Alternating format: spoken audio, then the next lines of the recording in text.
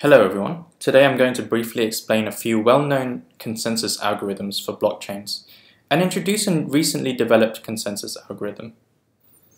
A consensus algorithm is simply the way blockchain systems ensure the transactions stored on their network is valid and truthful. Proof of work is the most well-known consensus algorithm, specifically for its use in Bitcoin. Consensus is reached by the miner of a block calculating some computationally difficult puzzle. Therefore, the probability a node verifies a block and obtains mining rewards is proportional to its computing power. In this simplified picture of a block, you can see some important aspects of it. Every miner is trying to compute a block header that reaches some condition, and the first person to successfully compute the block header successfully mines the block. The previous block header hash is important as it ensures the security of the system. This maintains the relationship of each block to the previous one, as changing any blocks changes the hash of every subsequent block, making it easy to verify honest chains.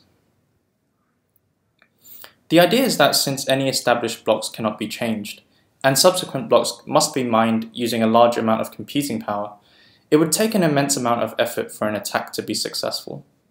As long as more than 50% of total computing power mining blocks are honest, the security of the system is maintained. However, the effect of this is that a large amount of resources are wasted, as many of the nodes are trying to mine every block, while only one can be successful. So I'm going to briefly summarize the main points. All nodes participating in the network can mine blocks, the probability that they generate a block and gain mining rewards is proportional to the computing power used to mine a block. This has the advantage of being very secure, as a malicious node must gather 51% of all computing power in the network to override the decisions of honest nodes. This is extremely costly. The disadvantages are that the majority of computing power used to mine blocks are wasted. And also, the scalability of the system is low, as block verification needs to take a long time. Moving on to the next consensus algorithm, the proof of stake. One of the main concerns of proof of work was that it wasted a large amount of computing power. While the protocol was very good at maintaining the system's security, every single node calculating some arbitrary hash function is a waste of resources. Peercoin was the first significant cryptocurrency that tried to solve this issue by adopting a different consensus algorithm, known as the proof of stake. The idea of proof of stake is that one person is chosen to mint a block, and the likelihood of them being chosen depends on the amount of stake they have in the system. Note that this is a little bit different from mining a block, so the term minting has been coined to describe it. Since stake is directly related to the amount of coins the node owns in the system, the people with the highest amount of stake have the most incentive to maintain the security of the system. This hugely reduces the resources wasted, as only one person is selected per block to calculate the hash of the block, and not every single participant in the network. I'm going to briefly summarize the points to take away about proof of stake. All nodes participating in network can mint blocks, the probability that they are allowed to generate the next block and gain minting rewards is proportional to the amount of stake they have in the system. Only the node that is selected to generate a block needs to calculate the hash of a new block. This greatly reduces the energy wasted on maintaining the security of the system as compared to proof of work. One main disadvantage of proof of stake is that malicious nodes can easily participate in the generation of blocks as long as they accumulate enough stake in the system.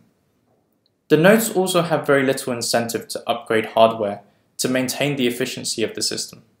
So now I'm going to introduce a newly developed consensus algorithm called the supernode proof of stake.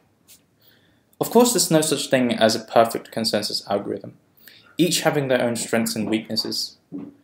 Since decentralized applications are being increasingly used, New innovations are always being formed to try and improve blockchain as a technology. Hmm. In September 2018, Sunny King developed a new consensus algorithm coined Supernode Proof of Stake. It is currently being used in V systems and solves many of the concerns people had for previously mentioned consensus algorithms. One of the main concerns of proof of work and proof of stake is that anyone can participate in the verification of blocks, and there is nothing to prevent a malicious node from mining or minting blocks.